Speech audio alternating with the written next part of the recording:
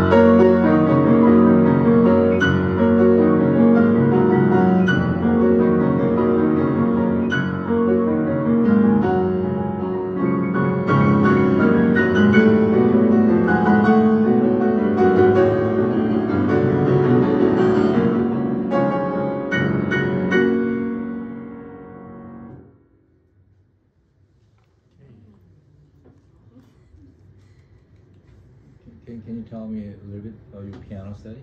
Yeah. Um, uh, so it's basically the same. We have Mhm. been studying together for all of our lives. Our father is a very known singer in Costa Rica back, Mhm. um, and he put us into piano classes since a very early age. And at six years old, we started like the intensive program, like professional. So we started going out in contests and that type of that type of stuff, and we haven't stopped ever since. So. Okay. And what would be your intended major?